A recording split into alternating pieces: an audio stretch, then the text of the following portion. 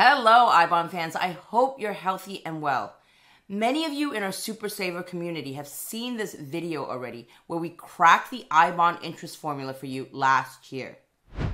Well, recently, quite a few of you have reached out after watching that video saying that you still don't see any interest on your iBonds, even though you're already in month five of your iBond purchase or beyond. So today's video is a quick tutorial on how to find your iBond interest because it's not entirely intuitive. First, I'm going to log into my account on this page. On the password screen, I'll scroll down, enter my password via the virtual keyboard, and click submit. And here's my account summary page. I'll scroll down and here under savings bonds, I see 10,000.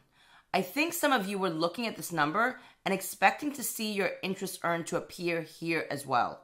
This number does not include any iBond interest earned. It just shows the principal value of my iBonds, the amount that I actually paid for them in 2022. To see the iBond interest I've earned, I have to click on Savings Bonds, and this current holding screen will appear.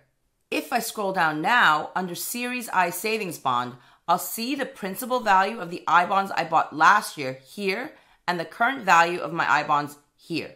This current value includes this principal value plus total interest earned so far, minus the last three months' interest as an early withdrawal penalty adjustment for I bonds that are still within the initial five year holding period.